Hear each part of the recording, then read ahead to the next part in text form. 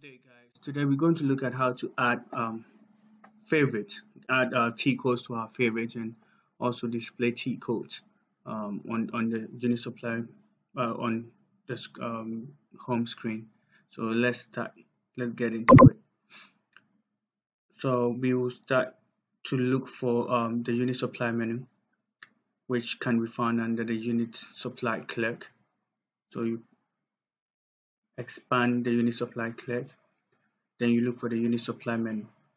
When you find the unit supply menu then you right click as it's going to about to it's going to show us.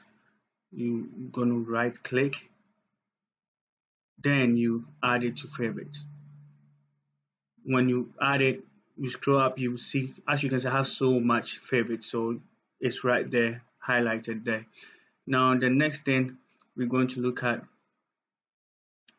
is to display the T codes to make it easier for us to identify the T codes. So you click on it. The first checkbox is to display the, the below and the tail, is it the one that I'm clicking right now? Is going to show you the technical names, are the T codes. Then you click on it.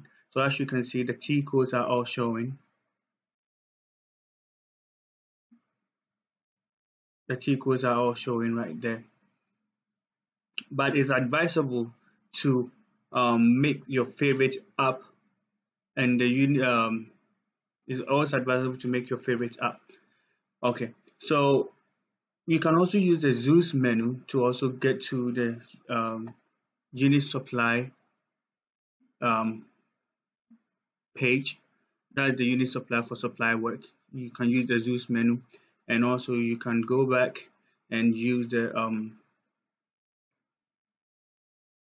look for your favorite, the one that you say uh, you, you, you added to your favorite, then use it. Now I'll, be going back to change the display favorite to the to the top. So we go back, uncheck the first box, then check click the second one.